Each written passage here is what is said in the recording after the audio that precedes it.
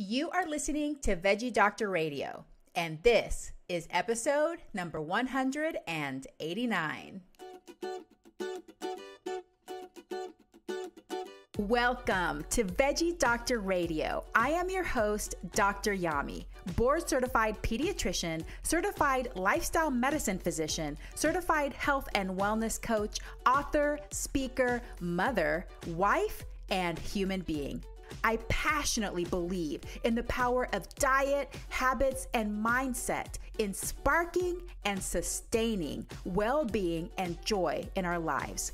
This podcast combines expert interviews and thoughtful monologues to explore plant based nutrition, lifestyle medicine, parenting, mindset, and other exciting and fun topics.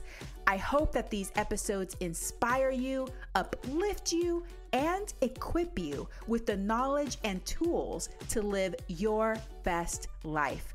Are you ready to get started? Let's do it. Welcome back, veggie lovers. Happy New Year. Happy 2022. I hope that your new year is off to a great start. Well, I did not have a podcast episode last week, and it was one of those things that I was dreading was eventually going to happen. But right before our travel, we took the week after Christmas off to visit Tucson, Arizona. I got sick, which was not fun, and I was really tired. I tested negative for COVID twice, and I suspect that what I had was RSV. I did not want to waste any of the rapid RSV swabs at my office because they are a precious commodity. But I'm pretty sure that's what I had because about seven days prior to my symptoms starting, one of my beautiful little patients projected vast amounts of mucus onto my face as I was doing their nasopharyngeal swab, which I deserved because nobody likes nasopharyngeal swabs, but I also wasn't wearing my face shield. I was wearing my mask and my glasses, but hey, it was it was a lot at once. So I learned my lesson. Unfortunately, I passed the virus on to the rest of my family one by one and we were all mucus factories, which is the hallmark of the respiratory syncytial virus is lots of mucus. Fortunately, for older children and adults, we just get a bad cold, but unfortunately for the littles under 1, they can get what's called bronchiolitis. So we do have to be very careful and not spread it to those little babies because they can end up in the hospital with lots of inflammation in their lungs.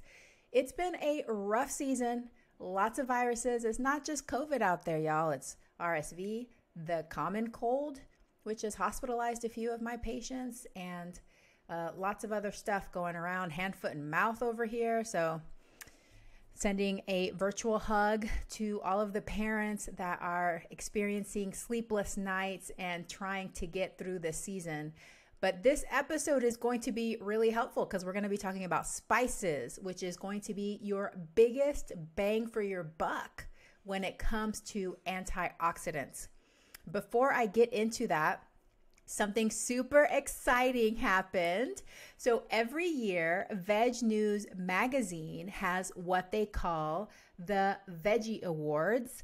And this year, Veggie Doctor Radio is on the list of podcasts that you can vote for in the Veggie Awards. So that's vegnews.com, V E G news.com. If you go to forward slash Veggie Awards 2022 with dashes in between each of the words, so Veggie dash awards dash 2022, then you can vote for my podcast. And if you are a loyal listener, Oh my gosh, I would appreciate it so much. Thank you so much for being a listener and for making this possible. It's a very long list of things to vote for, and it's so fun. And you'll get FOMO because it goes through all kinds of things like ice cream and donuts and best veggie bacon and all this stuff. And then you'll realize there's lots of products you still haven't tried and need to try. And of course, like the best vegan city and the best vegan restaurant and all of this stuff. My podcast is on page six of the survey. It is category 56. So you have to go through 55 categories before you get to my podcast. You don't have to vote in every single one of the categories. There's some categories that I had no clue. I hadn't tried any of the things in the category or been to any of the restaurants.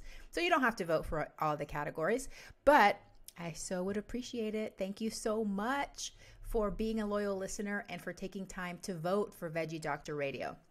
I appreciate you. Okay, so happy new year. We are talking about spices today. I have been every month highlighting a different plant category, and herbs and spices is on the top of the list when it comes to antioxidants. But we decided to split it into spices on one episode and herbs on another episode just because there's some slight differences and also that way you get some more information and there's a lot of information so i'm not going to be able to cover everything but hopefully this will inspire you to include more spices into your cooking i'm going to be quoting dr michael greger from his book, How Not to Die, one of my favorite books, very comprehensive. And on page 50 of that book, he writes The food category that averages the most antioxidants is herbs and spices. At the end of that little text box, he writes Plant based meals tend to be rich in antioxidants on their own, but taking a moment to spice up your life may make your meal even healthier. Now, I've said this before, and I'm going to say this again at the beginning of this episode because there's some of us that weren't raised with a lot of spices. Now, I'm Panamanian, and in the Panamanian culture, our food tends to be on the blander side as far as the use of spices. And you know, you may think of some other cultures where you just think like the spices are so rich, like Indian food or Thai food, Mexican food, Mediterranean food. Like it's just so flavorful, so many different spices. So maybe you were raised in a culture or in your household where you didn't utilize spices as much. And so you're not familiar with them and you're not accustomed to them. So you have not had the opportunity to learn to like them. Just like any other plant food, when we talk to kids, when we talk to ourselves, remember that any flavor that we want to acquire, that we want to like, we have to learn to like through repeated exposure, through consistent and repeated exposure. So there is hope don't categorize yourself as that person who I don't like, quote, spicy food. And by spicy, we're not saying hot, just like food that has lots of different kinds of spices in it. You can learn to like it. Be patient with yourself, try different things, experiment, have fun. Because spices are incredibly health promoting and it's a great way for a small amount of something to get a big benefit when it comes to antioxidants. So I wanted to start there listen to what I have to say first. And if you're one of those people that just isn't used to spices, integrate them slowly. I remember when I was in college, and like I said, I grew up not eating a lot of different spices. And when I went to college, I met people from all different parts of the world. it was really fun. And I remember saying to one of my friends at the time, Leon, if you're listening, I don't like curry. And he was so frustrated because I think I said it multiple times. And he's like, there is no one curry because curry is a combination of spices. So you can make your own curry and it can be a different combination than somebody else's curry. Or you may have noticed there's yellow curry, there's green curry, there's red curry. So I had like categorized this all this explosion, this diversity into this one category and be like, I just don't like it. Of course, that is no longer true. And now I love all kinds of different curries and curry flavor combinations and foods from all over the world, but I had to learn to like it. I experienced that with Ethiopian food as well. At first, I did not like the injera, which is that sourdough pancake that they use to eat the food, and now I love it. In fact, while we were in Tucson, we got to eat Ethiopian food at a restaurant called Cafe Desta. Desta is my son's name. It means happiness in Amharic. And we loved going there and having some delicious Ethiopian food. And as usual, we were fighting over the last bites, as always happens in my family. We're big eaters. So it was delicious. All right, let's get on with it. Spices. First of all, what are spices? Very interesting. A spice is a part of a plant, so it can be the fruit, it can be the bark, the seed, or the root that is used for flavoring or coloring foods. Spices can also be used medicinally. They can be used in cosmetics. They can be used in perfumes. In fact, I am wearing a vanilla orchid scent right now, a nat- more natural perfume. Smells amazing. And spices can be found fresh, but they can also be dried in their whole forms. They can also be dried and ground. Probably the majority of us are used to seeing dried and ground spices, the kind that you get in a little shaker bottle. And then you can shake and sprinkle onto things. Whole dried spices. So you may think of, like, you know, pepper when you grind it but there's peppercorn, so that's the whole form of the pepper. Whole dried spices have the longest shelf life. There are at least 80 different spices throughout the world. There might be more than that. I mean, I suspect there's more than that. I tried to find some resources to estimate how many spices there are, and that's one of the ones I found, but I feel like that number is kind of low. There's probably more. Now, there is a difference between a spice and an herb. Like I said, I'm going to do a separate category on herbs, but the difference is that a spice comes from any part of the plant besides the leaves, flowers, or stems. And an herb is always leaves, flowers, or stems. So, herb is a little bit more restricted in what an herb can be. A spice can be pretty much any plant ground up, okay? Over the last few decades, research into the health benefits of spices has increased significantly. We'll talk more about that in a little bit. The most popular spice in the world is cumin. You've likely experienced it, especially if you love Mexican food. Cloves is the most antioxidant rich common spice, and amla is the most antioxidant rich uncommon spice. And I got those stats from Dr. Greger's book, How Not to Die. What are the common spices that we consume in the United States? Vanilla beans, black pepper, white pepper, cinnamon, mustard, oregano, ginger, cloves, and nutmeg. And by far, what I want to emphasize to you today is when it comes to the nutrients found in spices, antioxidants is probably going to be the most powerful that I want you to remember. Spices are a rich and concentrated form of antioxidants. And you know, when we use spices, we don't use this huge amount. We use pinches. We use a quarter teaspoon, a half a teaspoon.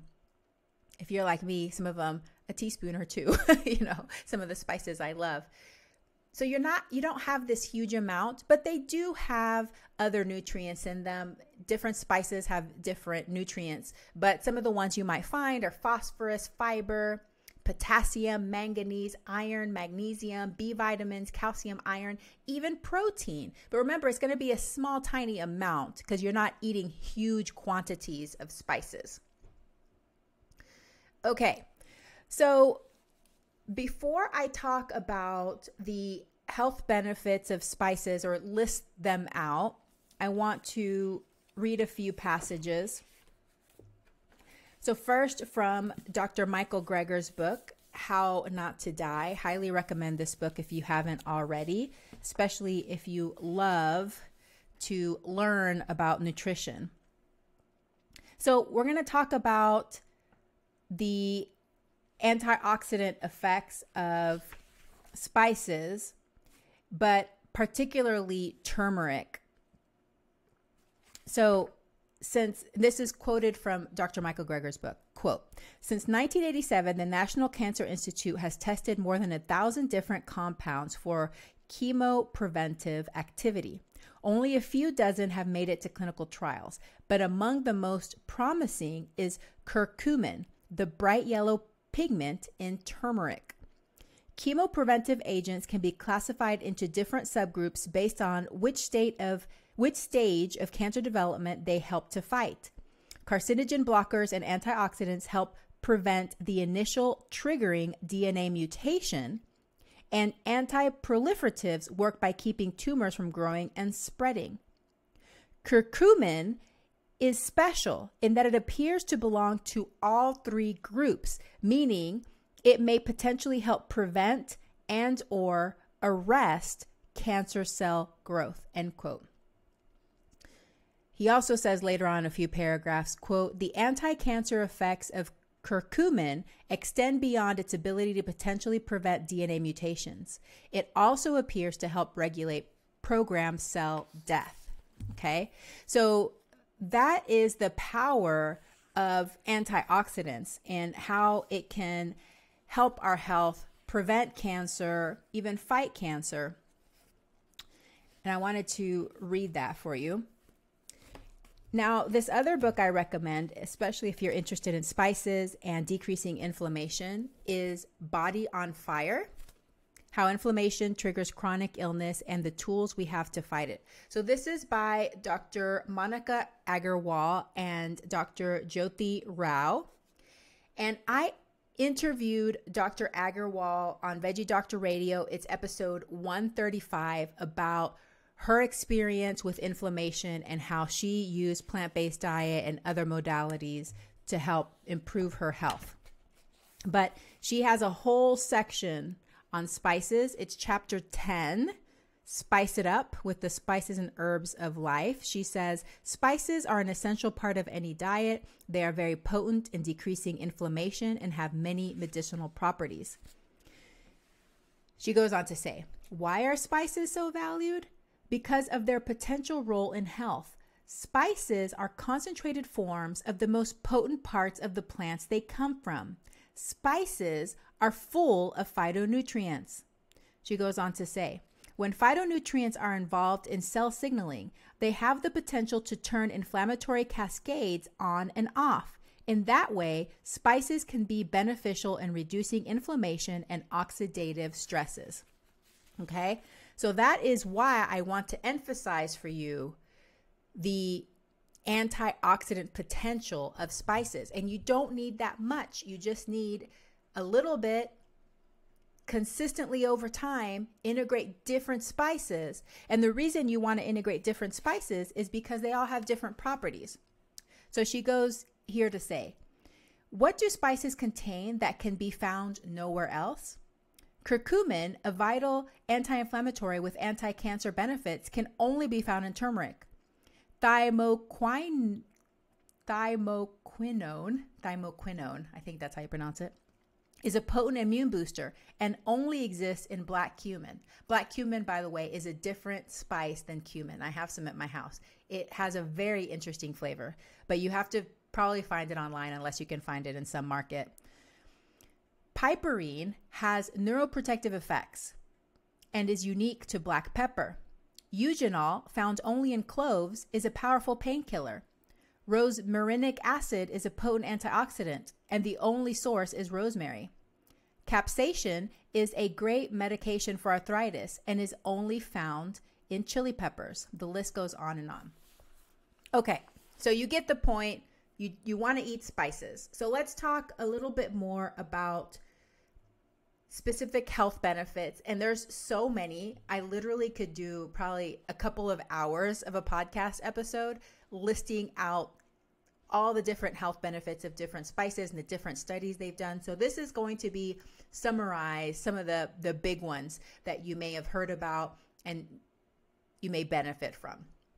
So turmeric, like I said, is believed to have anti-cancer properties and can prevent DNA mutations, may help prevent some of the DNA damage specifically caused by smoking. Curcumin, the pigment in turmeric, may play a role in preventing or treating lung disease, brain disease, variety of cancers, including multiple myeloma, colon cancer, and pancreatic cancer. Another benefit that is important to understand is that using different spices helps decrease our consumption of salt added to foods because it makes the flavors of the foods interesting. So we don't have to use as much salt. And having an excess of salt in our diet can be detrimental to our health. So whenever we use more spices and we're using less salt, that can be beneficial. Cinnamon can lower blood sugar and reduce high blood cholesterol and triglyceride levels. Ginger can help treat an upset stomach, diarrhea, and nausea. It has also been used for migraine treatment and menstrual cramps. Sage may be able to improve brain function and memory. Fenugreek may have beneficial effects on blood sugar. Garlic may decrease the risk of heart disease by reducing cholesterol levels, may also reduce blood pressure. And capsaicin, which is found in cayenne pepper, peppers, can provide pain relief. So that's some of the summaries. But just like I was reading from Dr. Aggarwal's book, Black cumin, immune booster, turmeric, anti inflammatory, black pepper protects brain cells, cloves can be used as a painkiller, rosemary, antioxidant, chili, pain reliever. Okay. So, and another thing to remember about spices, like I was talking about before, if you're used to a more bland diet and you don't like spices and we always assume that kids only like bland foods. But we can start integrating spices into their foods from a young age. Don't be afraid to do that because that's the only way they're going to learn to like those flavors. Remember it's like Dr. Greger said in, in his book here, quote, intense colors and intense flavors can be signs of intense benefit, end quote. Because those properties from those foods is what we're tasting. We're actually tasting the anti antioxidant properties from those foods by seeing all those beautiful colors and those very vibrant flavors. All right, so we know that we should eat spices. There's over 80 different spices. They all have different health properties. How much should we eat? And now for a very important message. Hey, mama, if you are feeling frustrated about mealtime battles, worried that your child isn't eating enough or eating enough vegetables, afraid that your child is going to get some awful deficiency or disease because of the lack of diversity in their diet, I wrote a book that might be for you. A Parent's Guide to Intuitive Eating How to Raise Kids Who Love to Eat Healthy is available in paperback, ebook, and audiobook through all major online booksellers. Did you know that most children are born with the innate ability to eat the appropriate amount of food to satisfy their hunger and support appropriate growth? Despite this, parents are still anxious and confused about how much and what to feed their children. In addition, many children are labeled as picky eaters or develop behaviors such as hiding and sneaking food. There's also a growing epidemic of dieting behaviors and eating disorders beginning at alarmingly young ages. In my book, you'll learn the five pillars of healthy eating, how to apply intuitive eating through all the stages of development, lifestyle habits that support healthy eating and body image, troubleshooting and problem solving for picky eaters, overeating, and dieting behaviors, how to create and foster a healthy body image in your children, how exploring your own body image and relationship with food will help raise an intuitive eater, and what foods to offer your child at different stages of development.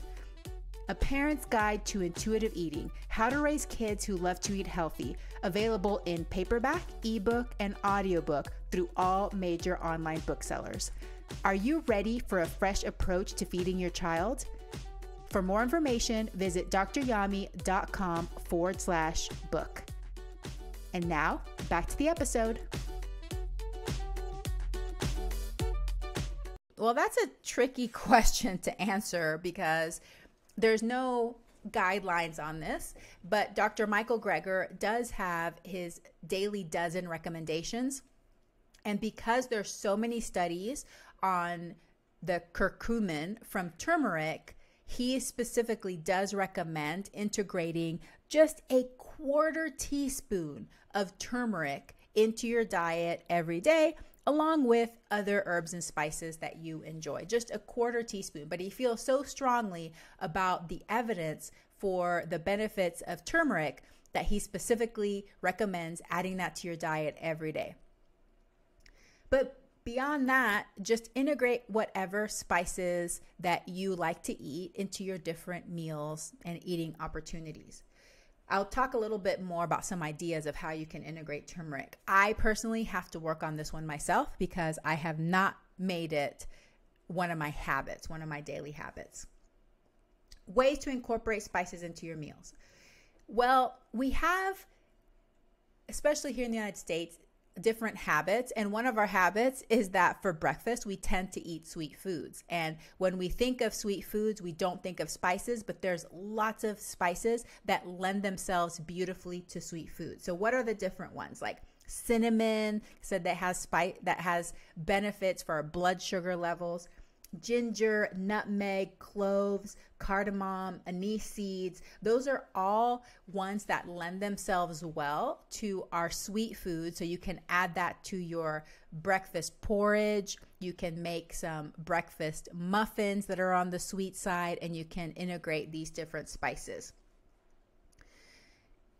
Say you're having a savory breakfast, an easy way to integrate turmeric is by making a tofu scramble. That's just like because in the tofu scramble, we're using the turmeric, that color, to color the tofu and give it that yellowish color that an egg would have. So that one's an easy one. Just put some turmeric in there, put some black pepper in there. Oh my gosh, one of my favorite is smoked paprika. Oh, so delicious onion powder, garlic powder, so easy to add to your savory breakfasts. Another thing you can do is make your own spice mix and put it in a shaker and use it on different foods throughout the day. You can even put it in your bag your purse, whatever, and take it with you when you go out. But it's so easy. You can buy a shaker, or after you've used a, a, shaker up, then you can fill it with your own spice mix. Like I said, smoked paprika is one of my favorites. So, a spice mix that I've made is onion powder, garlic powder, smoked paprika. I actually throw in some nutritional yeast and just a little bit of salt, and I love that combination. But another thing that you can do is look up different combinations of spices for what cuisine you want to experience. And some of us may say, oh, we're not very good cooks. I don't know how to cook that. But remember, the only way that you can learn how to cook is by doing it, right? So experiment and have fun. And we're going to create or include some links for you to two different resources that I found that are really helpful on spice combinations. And this is really fun because I love to just make stuff up in the kitchen and create things. You don't always have to go by a recipe, but say you feel like making something that tastes Mediterranean or that has more of an Italian flavor. Okay, well, this article from greatist.com has spice combinations that you can integrate from all different parts of the world.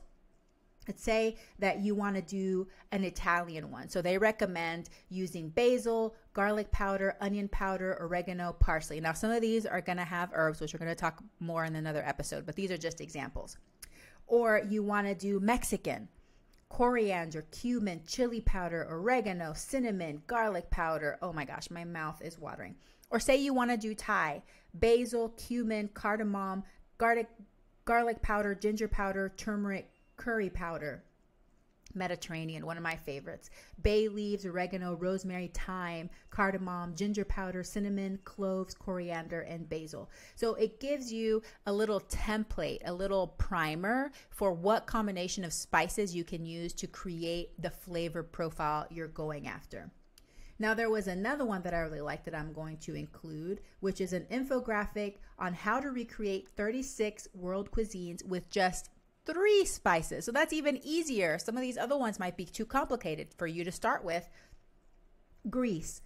The flavor profile that they integrated was oregano, olive oil, lemon, Mediterranean, garlic, oregano, capers, Mexico, chili, tomato, lime, Morocco, coriander, cinnamon, cumin. So you can go through and you kind of get an idea of what are the highlights of the different flavors and different cuisines, and then just play around with it.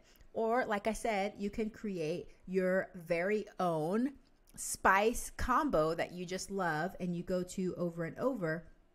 But it is a good idea to sometimes push yourself out of your comfort zone. Like right now, I'm probably stuck in a comfort zone and I don't play around with as many spices as I should to get that diversity of exposure not just for the antioxidants, but also for our gut health. Because remember that all of these foods have different types of fiber in them that feed different gut bacteria. So it's beneficial for us to push ourselves outside of our comfort foods to integrate other plants that we don't typically integrate when we get stuck in our little ruts.